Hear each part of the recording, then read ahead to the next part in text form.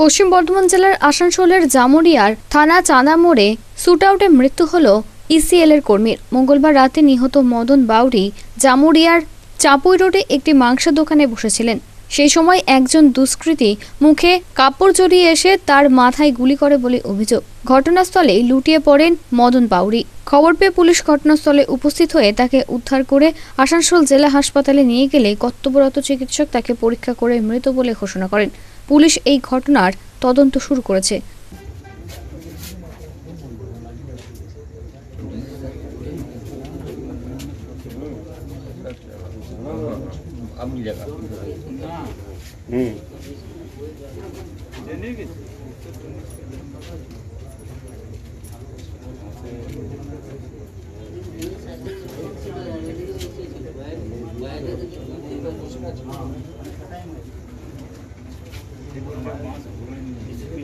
খবর পেলাম যে রাত নটা পরে আর কিছু পরে আমাদের গ্রামের এক ছেলে মদন বাউরিকে চাকরি খুলে গেছে চাকরি করে।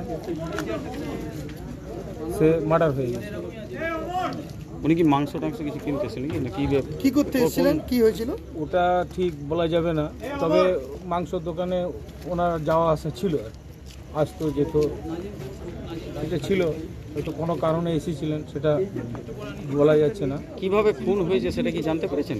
যেটা ওর কাছে ছিল মাংস দোকানের লোক যেভাবে ওরা বলছে যে আমরা ছিলাম দুজন ও চেয়ারে বসেছিল। হঠাৎ করে একজন মুখে বাঁধা অবস্থায় পিস্তল হাতে বন্দুক হাতে করে নিয়ে আসে। কেড়ে কেড়ে কেড়ে বলে ঢুকে যায় আর ওকে ছটিয়ে গুলি করে তাড়াতাড়ি বেরিয়ে যায়। কটা গুলি করেছে কি? যেটা শোনা গেল ওদের মুখ দিয়ে যে তিনটে পরপর গুলি করেছে মাথায়। এই যে এই যে সন্ধ্যাবেলায় গুলি করে খুন করালো কতটা এই নিয়ে আতঙ্ক রয়েছে না আমার আতঙ্ক আমাদের এই অঞ্চলে ধরুন রাত্রে বারোটা একটার সময় মানুষ এখানে যারা চাকরিরত তারা ডিউটি যাতায়াত করে তাদের একটা আতঙ্ক। সকালবেলায় যারা মর্নিং ওয়ার্ক করতে আসে ভোরে সেটাও একটা আতঙ্ক। এখানকার যারা আমাদের পড়াশোনা করে অভিভাবকরা মেয়েরা সকালে টিউশন করতে আসে পড়াশোনার জন্য। এটাও একটা আতঙ্ক। আসানসোল থেকে সৌমিত্র গাঙ্গুলির রিপোর্ট আনন্দ বার্তা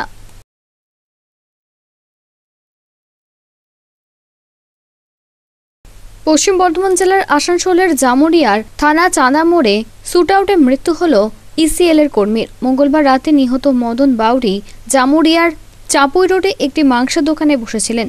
সেই সময় একজন দুষ্কৃতী মুখে কাপড় জড়িয়ে এসে তার মাথায় গুলি করে বলে অভিযোগ। ঘটনাস্থলে লুটিয়ে পড়েন মদন বাউরি খবর পেয়ে পুলিশ ঘটনাস্থলে উপস্থিত হয়ে তাকে উদ্ধার করে আসানসোল জেলা হাসপাতালে নিয়ে গেলে কর্তব্যরত চিকিৎসক তাকে পরীক্ষা করে মৃত বলে ঘোষণা করেন। পুলিশ এই ঘটনার তদন্ত শুরু করেছে।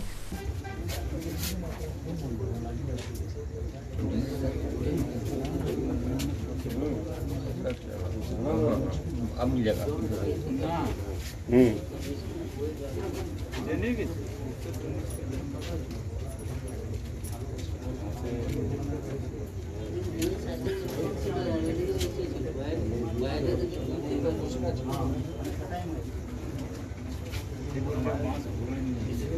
খবর পেলাম যে রাত নটা পরে আর কিছু পরে আমাদের গ্রামের এক ছেলে মদন বাউরিকে চাকরি খুলে গেছে চাকরি করে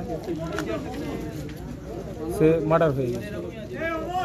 উনি কি মাংস টাংস কিছু কিনতেছিলেন কি নাকি বে- কি করতে এসেছিলেন? কি হয়েছিল? ওটা ঠিক বলা যাবে না তবে মাংস দোকানে ওনার যাওয়া আসা ছিল আর কি।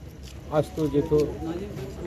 এটা ছিল হয়তো কোনো কারণে এসেছিলেন সেটা বলা যাচ্ছে না। কীভাবে খুন হয়েছে সেটা কি জানতে পেরেছেন? যেটা ওর কাছে ছিল মাংস দোকানের লোক যেভাবে ওরা বলছে যে আমরা ছিলাম দুজন ও চেয়ারে বসেছিল।